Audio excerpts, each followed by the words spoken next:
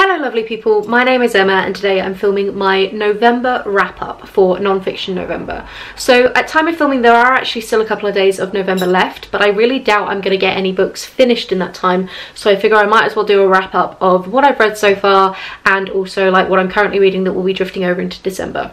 Now spoiler alert, non-fiction November was a colossal failure on my part this year. This has probably been my worst reading month I've had since beginning my channel um, and I will get into why at the very end of the video video if you are interested in a general life update.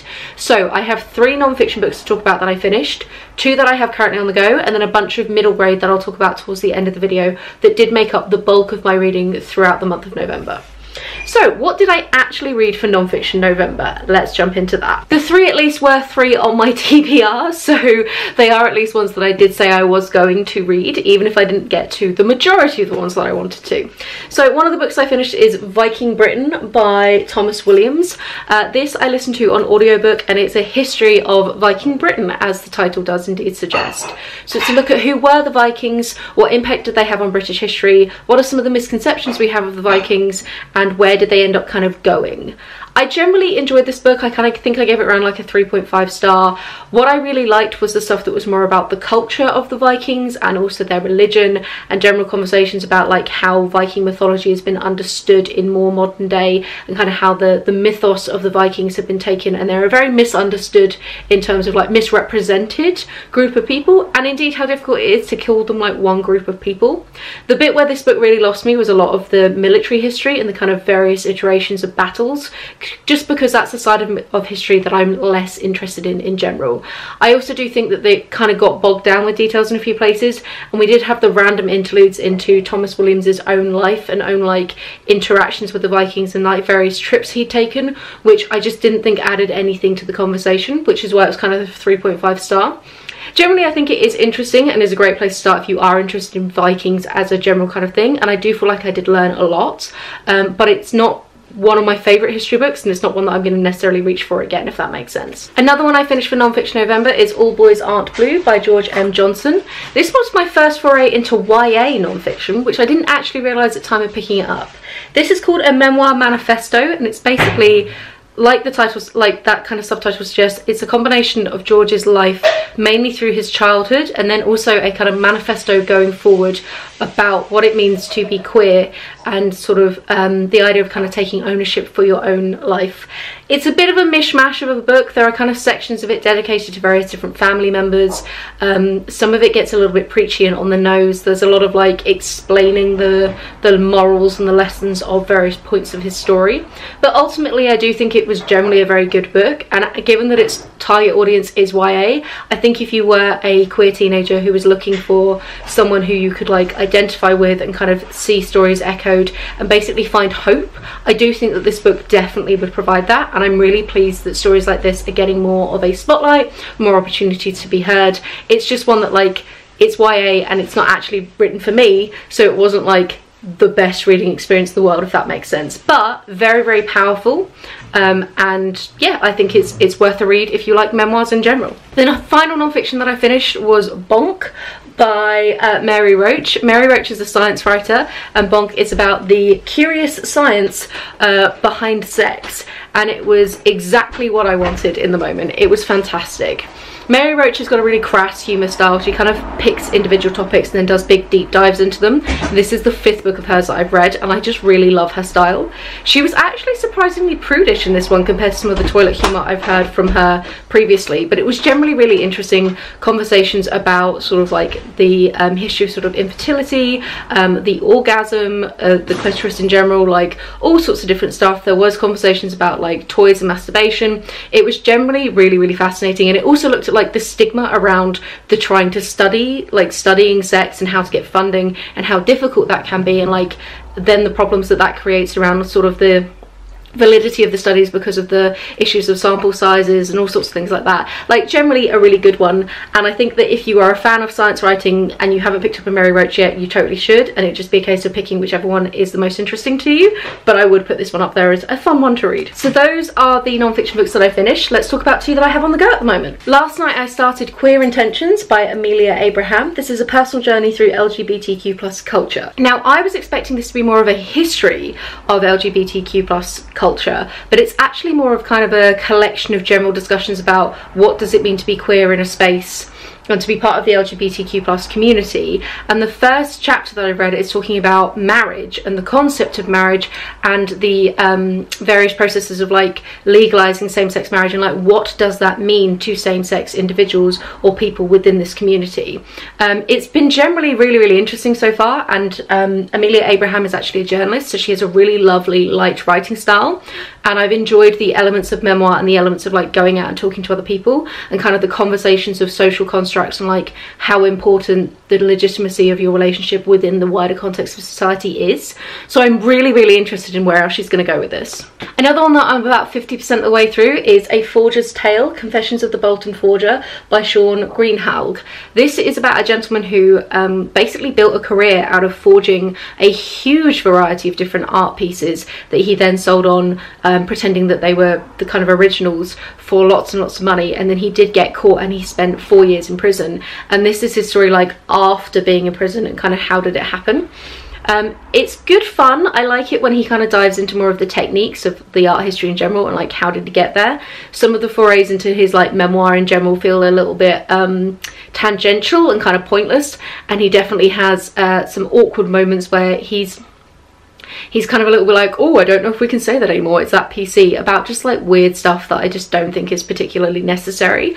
Um, but you can tell he's not actually a writer. He is somebody who is writing a book about their life because they did something cool and interesting. And I think a ghostwriter would have been a good shout on this one.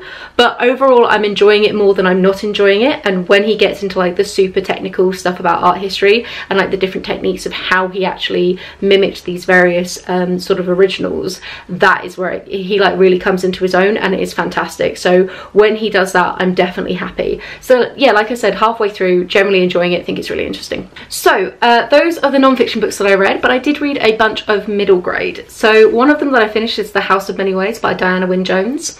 This is book three in the Howl kind of trilogy, although they are independent books that happen to contain some of the same characters going through. So the last one is focused on our young heroine called Charmaine, who um, is being sent to her uncle's house who is a famous wizard to basically look after his house whilst he's ill and away for treatment. And it's about the kind of various things that she stumbles into the friends that she makes and this kind of big plot that she ends up being embroiled in. I like Diana Wynne Jones. I think she's really classic. She's kind of an iconic YA slash middle grade writer from sort of the late 90s to early 2000s Howl's Moving Castle is absolutely iconic and I do think that this one as well as book two which is called The Castle in the Air I believe are just nowhere near as strong but also some of that might just be the sheer amount of nostalgia I have wrapped up with Howl's Moving Castle, especially with the Studio Ghibli movie. I think I liked book three slightly more than book two, um, just because Sophie and Howl, who are kind of our main protagonists from book one, featured more in it. And actually, I'm not here for all of these extra characters. I'm here for Sophie and Howl and Calcifer and all the kind of like original crew. Um, so because of that, but it was really enjoyable and it was really lovely as a bit of a kind of um, palette cleanser light reading experience. I also read, I think, eight of the Animorphs books by K.A. Applegate. I'm not 100% certain exactly how many because they kind of run into each other.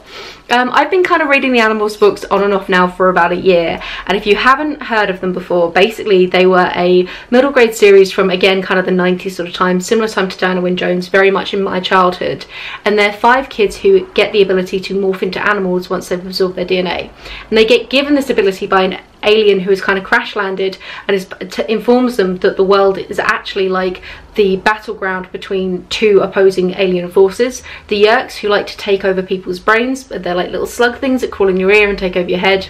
And then the Andalites, who are trying to stop the Yeerks from taking over yet another planet. So these five kids end up becoming the uh, kind of front line against this battle, whilst the Andalites race to try and get to the planet to be able to help them a little bit more. And it's about the whole experience. I'm in like books, like kind of the late 20s now, um, maybe even reaching up to like book 30 or so. I'm definitely about halfway through the series as a whole. So things are really starting to kind of heat up. We've got some of the really like iconic story arcs that this series went through. Um, there's a lot more darkness happening. You can see the kind of character development of these these kids who have been involved in this war now for quite a while and they've seen a lot of battles and like how is it changing their personality it's conversations about the brutality of war and whether they're losing kind of their humanity in this process and sort of what does winning genuinely mean to them. I love this series because I think it is really, really good at um, not shying away from like the brutal reality of what it would genuinely be like to be a kid locked in these kind of battles. I do find that some of the more modern middle grade can be like, yeah, and then they did their homework and everything was completely fine and nobody had nightmares from this. Whereas this one really confronts the fact that this is like very traumatic experiences that these kids are going through. Also, because we're getting a little bit more developed, the first sort of 10 to 15 books do follow the same kind of plot form. So it was getting a little repetitive whereas these ones have now started to play around with that format. We're getting kind of like mini arcs so sort of there's a few trilogies forming within the overarching story. There's the fairly infamous David trilogy that if you know the series you know what I'm on about. I don't want to spoil it necessarily but that was very very cool and a real like means justifying the ends. Can they really go this far? Kind of a, a moment which I loved. So I fully expect to be continuing the Animorph series going forward a little bit more. So those are the books that I read and in case you are curious about my life and why suddenly my reading is tanked after being able to normally finish anywhere from like 10 to 15 fairly heavy duty books a month, it's because I have a new job and I'm really really excited about it but it does mean that I have like no mental headspace for reading at the moment. So I've completely changed industries and I'm now working um, in a veterinary practice. I'm one of the uh, veterinary assistants which basically means I'm just unqualified and I'm there to give help um, because during COVID we can't have um, like the owners in the rooms. So I'm kind of a combination of an animal wrangler and a cleaner and it's really really good fun and I'm just lending hand wherever I can. And the intention is to go on to do a veterinary nursing qualification at some point next year whether it be an apprenticeship or going back to school. I'm not too sure yet but it basically means that this month's reading completely nosedived because I just had less time going from being essentially part-time furloughed to back to full-time work. Plus was quite tired and didn't really have the, like I said, the headspace because I was learning so many new things. So my December TBR, which will already be out, but I'm about to film next, um, it's probably going to be a little bit more relaxed and chilled and fully expect the reading to kind of calm down a little bit on this channel but we've had a fairly good year in furlough so I'm totally okay with that. So how did your non-fiction November go? Were you more successful than me? What do you think to the books I read? Have you read the Animorphs books? Do let me know in the comments down below. Have a wonderful reading week and I will chat to you soon. Bye!